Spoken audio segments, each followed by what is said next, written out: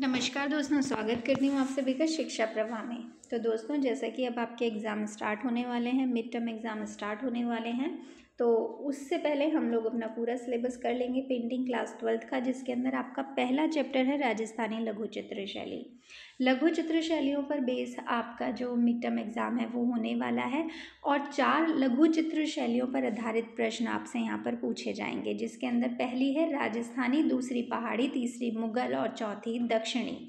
बात कर लेते हैं लघु चित्र शैली क्या होती है। तो उससे पहले अगर आप शिक्षा प्रवाह पर पहली बार आए हैं, आपने शिक्षा प्रवाह को सब्सक्राइब नहीं किया है तो सबसे पहले आप शिक्षा प्रवाह को सब्सक्राइब कर लें, अपने sample paper model test paper practice paper previous year question papers, आपकी मार्किंग स्कीम और बाकी सीबीएसई अपडेट्स के लिए। इसके साथ ही साथ यहाँ पर हम लोग पढ़ते हैं पेंटिंग का syllabus ninth tenth eleventh twelfth का, जानते हैं सभी इम्पोर्टेंट क्वेश्चंस के बारे में। तो बेटा शुरू करते हैं लघु चित्र शैली से। लघु चित्र शैली क्या है? छोटे आकार के चित्र जिसको हम इंग्लिश में मिनिएचर पेंटिंग भी बोल देते हैं। तो इंग्लिश की बात करें तो उसमें वर्ड आ रहा है मिनी और जो ल, हिंदी में बोल रहे हैं वो बोल रहे हैं लघु। तो लघु माने भी छोटा और मिनी माने भी छोटा यानी छोटे आकार के चित्रों को लघु चित्र शैली बोला जाता है। इससे पहले क्या होता था जो हमारे चित्र बनते थे वो बड़े एरिया में बनते थे यानी कि प्रगतिहासिक कालीन चित्र जो है वो शिलाओं पर बने हैं। इसके अलावा गुफाओं में चित्र बने हैं तो बड़ी बड़ी दीवारों पर मंदिरों पर चित्र बने हैं। लेकिन जब उन्हीं चित्रों को छोटे आकार में ताड़पत्रों पर बनाया गया या फिर पुस्तकों पर बनाया गया, कागज़ पर बनाया गया तो वो हो गए छोटे आकार के चित्र। और उसको बनाने का कारण क्या था कि बाहर से जो आक्रांता थे, उन्होंने आना शुरू कर दिया था और यहाँ पर चीज़ों को तहस नहस करना शुरू कर दिया था। तो कलाकारों ने और राजाओं ने क्या सोचा कि हम उनको पुस्तकों में सुरक्षित रख सकते हैं। इस कारण से चित्र बनने शुरू हुए छोटे आकार के। अब जो ये छोटे आकार के चित्र बने हैं तो इनकी जो तकनीक है, वो भी अलग है। सबसे पहले कहाँ बने? तो सबसे पहले बने पाल शैली में बने ये, ठीक है? पाल शैली आपके सिलेबस में नहीं है। पाल अपभ्रंश में बने, आपने इलेवेंथ में थोड़ा बहुत पढ़ा होगा उसके बारे में। पाल अपभ्रंश के बाद जो आपके सिलेबस में दिया गया है, वो सीधा राजस्थान में दिया गया है। तो राजस्थान के एरिया में जो छोटे आकार के चित्र बने हैं, वो कहलाते हैं राजस्थानी लघु चित्र शैली। शुरुआत कहाँ से हुई राजस्थान में इन चित्रों को बनने की? तो पंद्रहवीं शताब्दी से बेटा इन लोगों की स्टार्टिंग हुई है। और राजस्थान में एक जगह है मेवाड़, जहाँ पर इन चित्रों की शुरुआत हुई। राजस्थान के इन चित्रों की शुरुआत हुई और किसका चित्र यहाँ पर बना हुआ? तो जैन धर्म का एक ग्रंथ है कल्पसूत्र। उससे इन चित्रों की शुरुआत राजस्थान में मानी जाती है। इसके अलावा एक चित्र है सुपासनचर्य। सुपासनचर्यम एक ऐसा ग्रंथ है जिसके अंदर सबसे पहले चित्र बनाए गए थे राजस्थानी शैली में। कौन से चित्र? लघु चित्र। अब इनकी कुछ अलग अलग विशेषताएँ होती हैं। देखिए, हम बहुत ज़्यादा विस्तृत इनको नहीं पढ़ेंगे, बिल्कुल शॉर्ट में हम पढ़ेंगे। हमारा मकसद होगा सिर्फ़ और सिर्फ़ कॉन्सेप्ट को समझना और उसको अपने वर्ड्स में एक्सप्लेन करना। तो जो लघु चित्र बने हैं, उनके अंदर बहुत सारी विशेषताएँ हैं। सबसे पहले उनके जो चेहरे हैं, उनके अंदर प्राण हैं, भाव हैं। तीखे नाक नक्श जैसे कि राजस्थानी चित्रों में होते हैं।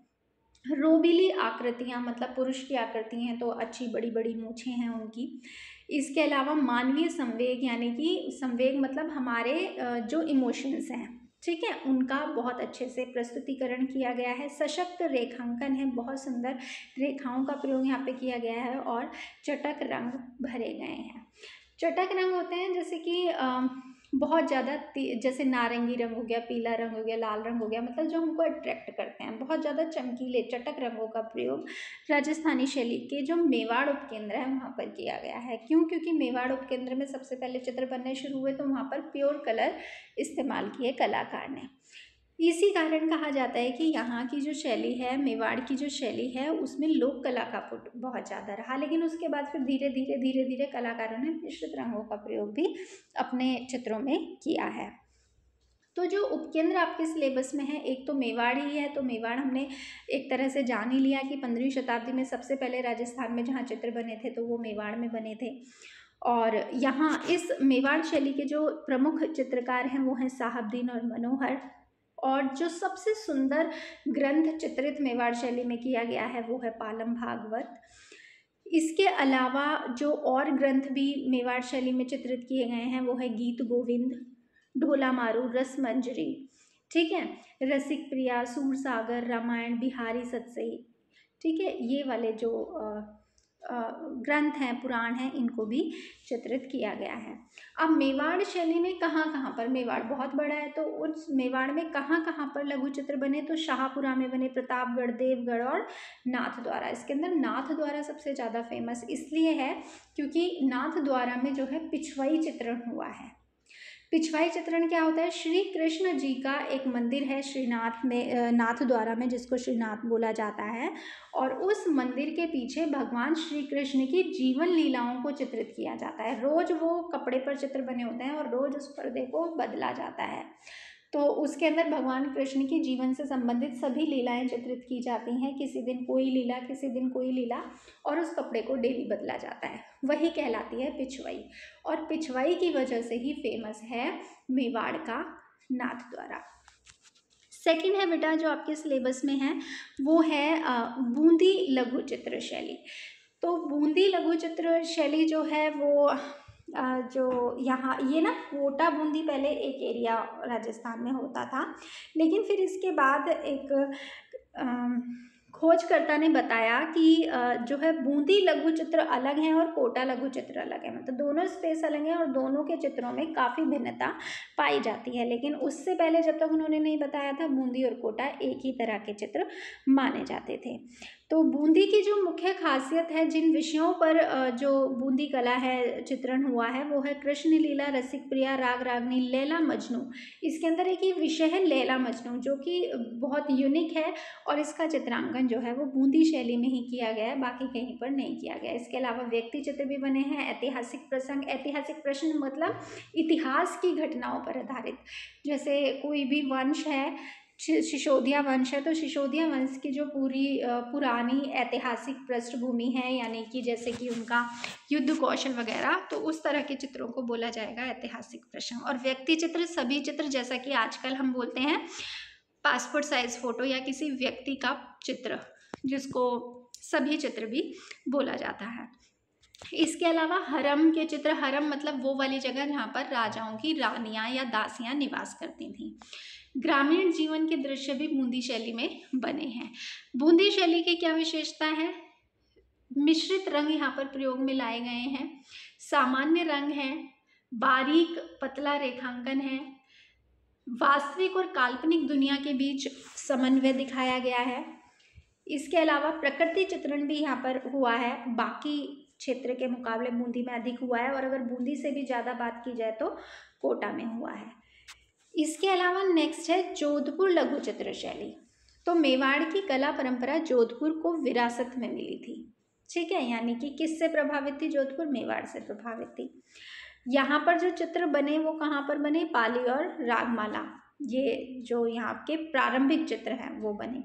इसके अलावा यहाँ पर बारह मासा पर रामायण पर देवी देवताओं की पूजा पाठ पर रनिवास, जिसको हरम ही बोला जाता है, से संबंधित चित्र भी जोधपुर शैली में मिले हैं। जोधपुर में ही एक जगह है नागौर, जहाँ पर बहुत अच्छे व्यक्ति चित्र बने हैं। नागौर का संबंध जोधपुर से ही है। चौथा है बेटा बीकानेर लघु चित्र शैली तो बीकानेर जो लघु चित्र शैली है, उसके अंदर मुगल कला तत्वों की भरमार है, ये इसकी प्रमुख विशेषता है। क्यों? क्योंकि बीकानेर में बहुत सा मुस्लिम शासन हुआ है, काफ़ी लंबे समय तक हुआ है तो वहाँ पर बहुत से मुस्लिम कलाकार भी आ गए थे, जिसके कारण वहाँ की कला पर मुस्ल मुगल कला तत्वों का प्रभाव पड़ा। ठीक है?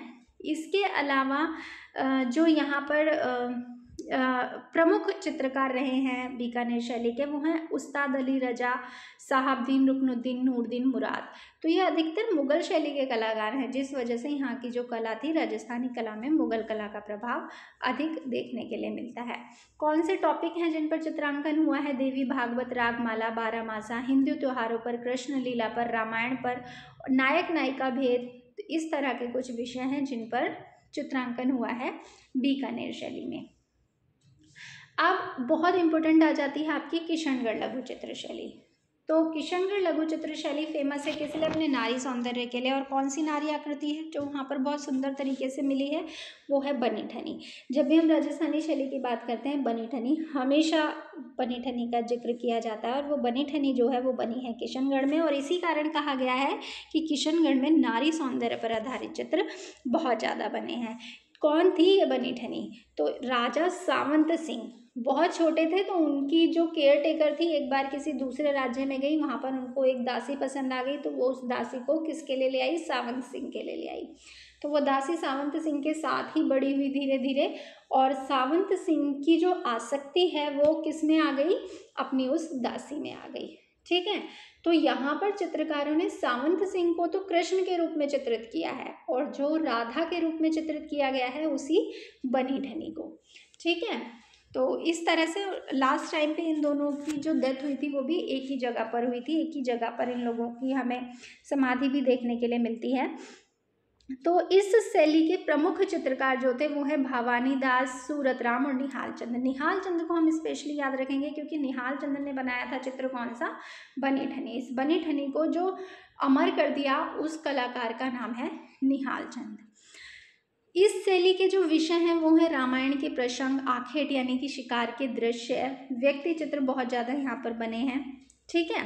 जिसके अंदर सबसे ज़्यादा तो उन्होंने बनी ठनी यानी कि राधा को ही बनाया है और दूसरा सावंत सिंह को कृष्ण के रूप में बनाया है।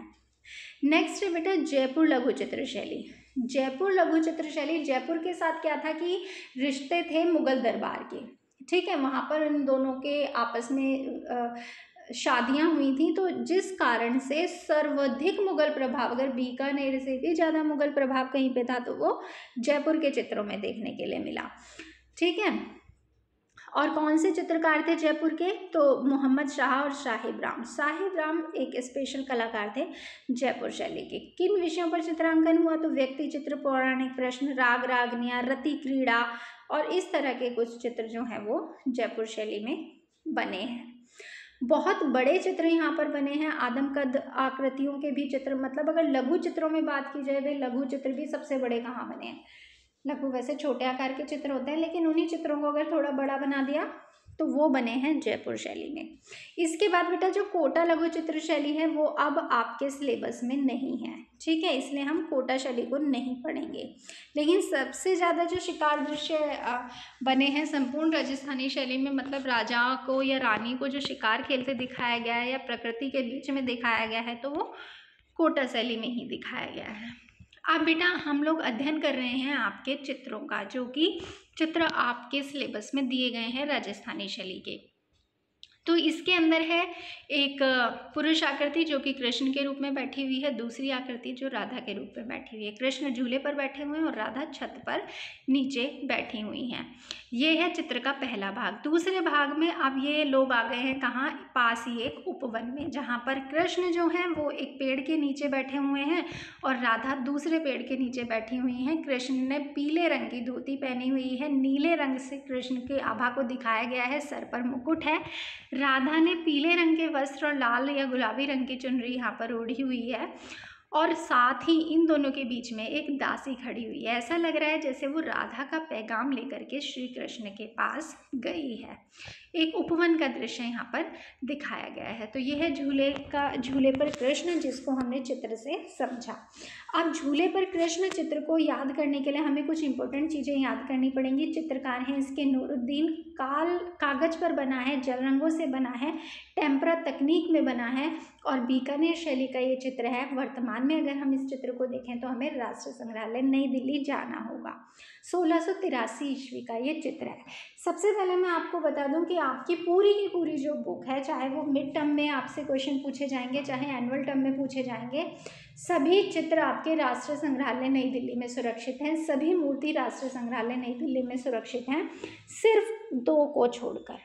ठीक है? एक तो आएगा आपका फाइनल टर्म में राम समुद्र का मान मर्दन करते हुए, जो कि राष्ट्रीय संग्रहालय में सुरक्षित नहीं है। और बाकी सारी चीज़ें आपकी राष्ट्रीय संग्रहालय में रखी गई हैं। अब एक वर्ड आया है बेटा यहाँ पर टेम्परा टेम्परा क्या होता है? तो जो हमारे जल रंग होते हैं, वो पारदर्शी होते हैं, उन पारदर्शी रंगों को भी अपारदर्शी बनाने की तकनीक टेम्परा कहलाती है। अपारदर्शी कैसे बनाते हैं? जब हम किसी एक प्योर कलर में कोई दूसरे कलर का मिश्रण, यानी कि रेड में अगर हम वाइट मिला दें तो उसके बाद वो हो जाएगा पिंक और थिक हो जाएगा और उसके आर पार देखना संभव नहीं हो पाएगा। तो ये कहलाती है टेम्परा तकनीक इसके अलावा क्योंकि ये जो चित्र है, इनको दीवारों पर चिपकाना है, मोटा बनाना है, लंबे समय तक चले तो इसके लिए चित्रकार क्या करते थे? इसमें कुछ अंडे की जर्दी, गूंद वगैरह मिला दिया करते थे, जिससे कि ये अपारदर्शी तो होते ही थे और लॉन्ग लास्टिक भी बन जाते थे। तो यही टेक्निक कहलाती है आपकी टेम्परा तकनीक लघु चित्रों में जो रंग भरे गए हैं, वो टेम्परा तकनीक में ही भरे गए हैं। चित्र के बारे में हम लोगों ने जो पढ़ा था, वही यहाँ पर लिखा हुआ है। बाई और कृष्ण को झूले पर दिखाया गया है।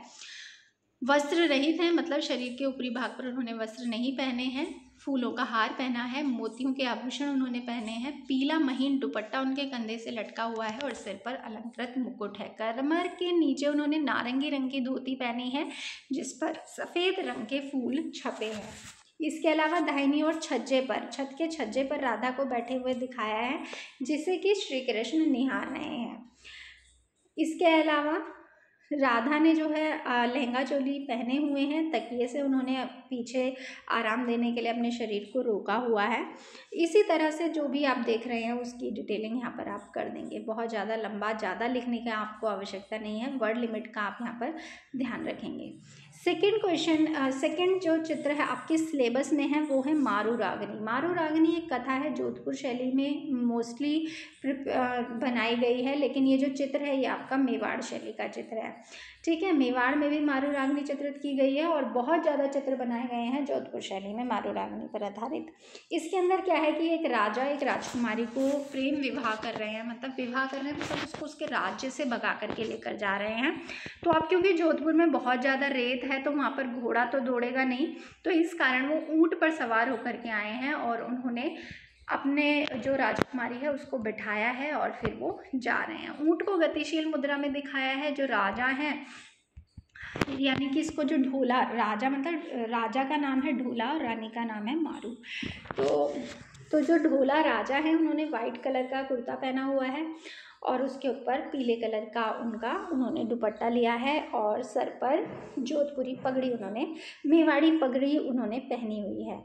जो रानी है, उन्होंने भी लहंगा चोली और पारदर्शी ओढ़नी उन्होंने पहनी है। उनके साथ ही उनको चलाने वाला एक सेवक है और दो अंगरक्षक भी हैं उनके साथ, जिनके हाथ में हथियार है। गतिशील मुद्रा में चित्रित है और पास में ही सफ़ेद रंग से एक कुत्ते को भी दौड़ते हुए दिखाया गया है। पीले रंग का प्रयोग पृष्ठभूमि में अधिक मात्रा में किया गया है। तो मारू रागनी चित्र है बेटा। शाहबदीन ने बनाया है, कागज़ पर बनाया है, अठारहवीं शताब्दी का है। मेवाड़ उदयपुर केंद्र का है, टेम्परा तकनीक का और राष्ट्रीय संग्रहालय नई दिल्ली में रखा हुआ है। बाकी डिटेलिंग के लिए आप ये जो नीचे यहाँ पर इसका दिया हुआ है, आप सभी के पास बुक होगी, आप उससे पढ़ सकते हैं। ठीक है बेटा? हम बहुत ज़्यादा अगर इसको एक्सप्लेन करेंगे तो वीडियो बहुत ज़्यादा लंबी हो जाएगी। तो हमारा मकसद है यहाँ पर कॉन्सेप्ट को समझना। हमारा नेक्स्ट चित्र है, वो है राधा बनी ठनी तो राधा बनी ठनी तो आपने इतना ही पढ़ लिया होगा कि उसको कितना ही बताया जाए। तो यहाँ पर मैंने आपको बता ही दिया कि भाई ये सावंत सिंह जो राजा थे, उनकी दासी थी, जिन पर उसकी आसक्ति थी। और ये राधा के रूप में इनको यहाँ पर चित्रकार निहाल चंद्र ने चित्रित किया है। नारी सौंदर्य की अप्रितम और मतलब बहुत ही सुंदर एक चित्रांकन जिसको बोला जाएगा कि भाई सबसे बढ़िया नारी सौंदर्य किया गया है।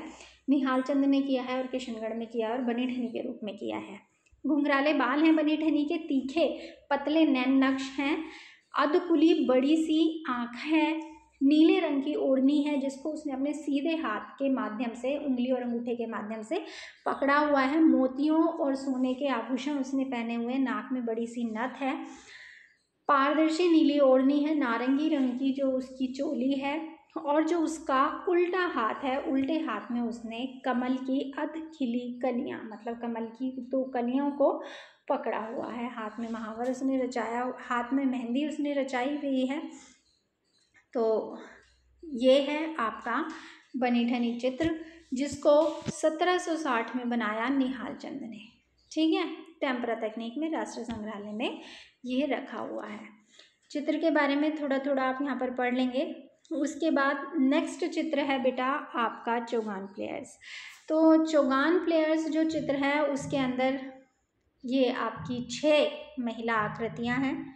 एक, दो, तीन, चार, पाँच छः छह महिला आकृति हैं जो कि एक बॉल को पकड़ने का प्रयास कर रही हैं अपने छड़ी के माध्यम से। सभी के जो रंग हैं कपड़े जो उन्होंने पहने हुए हैं, वो अलग अलग रंगों के पहने हुए हैं। घोड़ों की दिशा भी अलग है, घोड़ों का कलर भी अलग है। एक बाघ का ये चित्र है और ऊपर किसी भाषा में कुछ कुछ लिखा भी है, पता नहीं कौन सी लिपि में लिखा गया है ऊपर। तो ये है आपका जोधपुर शैली का चित्र, जिसको हम बोल देते हैं। चौहान प्लेयर्स चित्रकार हैं। दाना प्रसाद कागज़ पर बनाया अठारहवीं शताब्दी में टेम्परा तकनीक में और राष्ट्रीय संग्रहालय नई दिल्ली में ये चित्र सुरक्षित है। तो छह राजकुमारियों को गतिशील घोड़ों पर दिखाया गया। वस्त्र उनके फहरा रहे हैं, जिससे कि हवा और गति का एहसास हो रहा है। छह छड़ियाँ हैं उनके पास अपनी इंडिविजुअल और जिसकी मदद से वो गेंद को पकड़ने का प्रयास एक ग्राउंड में कर रही हैं। बाकी आप लोग पढ़ लेंगे। नेक्स्ट है आपका चित्रकूट में भरत राम से मिलते हुए चित्र का नाम शॉर्ट करके अगर बताया जाए तो राम भरत मिलाप। बहुत सारी आकृतियों को चित्रकार ने यहाँ पे बनाया है। चित्रकार का नाम है गुमान। जो वाइट ड्रेस में आपको यहाँ पर दिख रही हैं वो हैं रानियाँ और उनकी दासियाँ। क्या हुआ है? महाराज दशरथ की मृत्यु हो गई है और सभी रानियाँ राम से मिलने के लिए आई हैं, भरत के साथ आई हैं। तो साथ ही साथ उनके जो गुरुदेव हैं, वो भी उनके साथ आए हुए हैं और यहाँ पर जो भरत हैं, वो आग्रह कर रहे हैं श्री कृष्ण से चलने का वापस, लेकिन श्री कृष्ण सॉरी श्री राम से चलने का, लेकिन श्री राम वापस नहीं जा रहे हैं तो वो उनकी चरण पादुका लेकर यहाँ से जाएँगे। तो इसी चीज़ को यहाँ पर कलाकार ने दिखाया है और कितनी आकृतियों के माध्यम से दिखाया है फोर्टी नाइन आकृतियों के माध्यम से दिखाया है। यानी इस पूरे चित्र में अगर आप देखेंगे तो उनचास आकृति है यहाँ पर। ठीक है, जयपुर शैली का चित्र टेम्परा तकनीक में राष्ट्रीय संग्रहालय में रखा हुआ है, अठारहवीं शताब्दी में बना था ये चित्र। चित्र के बारे में आप लोग पढ़ लेंगे यहाँ पर। ठीक है? पॉज कर लेना वीडियो और तब पढ़ लेना अदरवाइज़ आप लोगों के पास बुक होगी। तो बेटा, ये आपके सिलेबस में आने वाले कुछ चित्र थे, जिसके बारे में यहाँ पर हमने चर्चा की है। जाना है राजस्थानी शैली को। हमने इस वीडियो को बनाने का पर्पज़ सिर्फ़ ये था कि हम समझ सकें लघु चित्र क्या है और राजस्थान में किन विषयों पर अधिकतर चित्र बने हैं, कैसे बने हैं, जिससे कि आप उसको अपने वर्ड्स में एक्सप्लेन कर सकें। आशा करती हूँ बेटा वीडियो आपके लिए काफ़ी यूज़फुल रहा होगा। मेरी वीडियो को लाइक कर देना, दोस्तों के साथ शेयर करना मत भूलना।